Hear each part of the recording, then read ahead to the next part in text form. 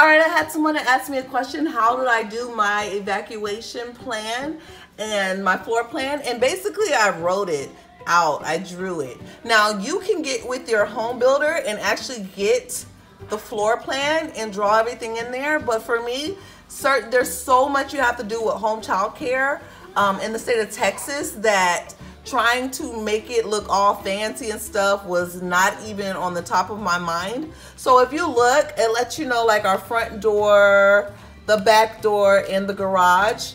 And then down here, I actually like color coded. So X means carbon monoxide. The triangles where the smoke detectors are. The rectangles, the float, the float, the flooding floats and life jackets in case there's a flood. And the green square is the emergency bag with the enrollment form, which is right here. And so um, I use the dots and then I have a yellow circle for the severe weather location, which is the bathroom, hallway, and master bathroom. So you can see that, boom, boom. And then um, breastfeeding, I used um, the purple symbol here to show where breastfeeding is, purple heart. And it's going to be located in the bathroom. And so like a star for where our first aid kit is, all that stuff is there. It's very self-explanatory. So when the fire inspector came, he was able to see it and able to understand it. So as you see, every black triangle means what? Smoke detector. So that's how I did that. Um, another thing that I wanted to point out to you was my um, policy handbook. I'll actually do a more formal policy handbook um, video because my policy handbook is the bomb guys i'm telling you. And i will upload it so you can use it and tailor it to however you want.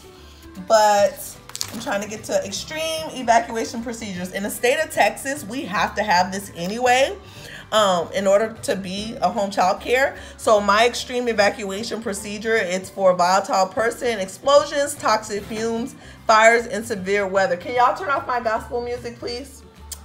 Um, and so it lets you know our evacuation relocation address.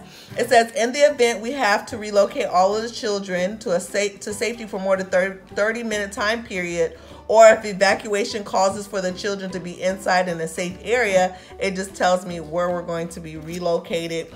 If there's a flood, what we would do, we'll inflate our boats and stuff like that. The addresses are here. I'm hiding it so that nobody from YouTube will come just pop up on me and, you know, do something crazy. And then the second part, it just breaks down uh, for children 18 months to 24 months, all staff members will ensure each child in this group is holding the hand of a child that is three years of age or older. Now, my home child care, we screen our children um, greatly. Number one, they have to be 18 months and walking before they can be with us. And even though it says three-year-old, you're probably thinking, oh, that's not mature enough. But our three-year-olds that we have are very, very mature because they really started with us at 18 months. So they're very mature. The younger, the younger the child, the older his or her partner will be. So if a child is 18 months, they will be paired up with like a six-year-old. Now, granted, it's me and another staff member. I do have a staff member, my best friend. She works with me. In the case of an extreme evacuation procedure, we will grab the emergency bag, its enrollment binder, first aid kit, food, water, games, music, and the center's phone and primary caregiver cell phone. Boom, everything is inside of there. Staff and children will take the appropriate exits by walking. Once we have reached our safe area, we will begin to take count of the children by calling them by their names and checking them in the system. While one caregiver interacts with the children, the other caregiver will contact licensing, local authorities, last parents. If the if needed, the emergency contact person will be required to pick up children. Once a month, we will practice our emergency preparedness plan.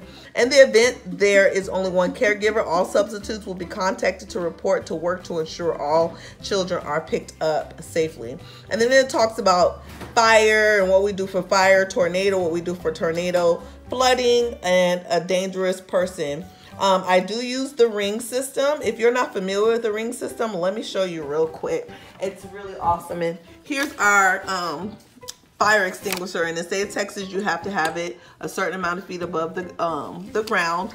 And you have to always have it serviced. And then this is my inspection report from when they did it. So for my ring, yeah, you can open the door. Go ahead for my ring um, i'll also add a link so check the description so you can see the ring But this is our ring. So whenever someone comes, it lights up and I'll get like a, um, a notification on my phone or all tablets and stuff. And so once I do that, I may be able to talk. So we don't even answer the door because um, it's just not safe. So we're able to just talk to the children or talk to whoever's at the door through there. But yeah, it is right here.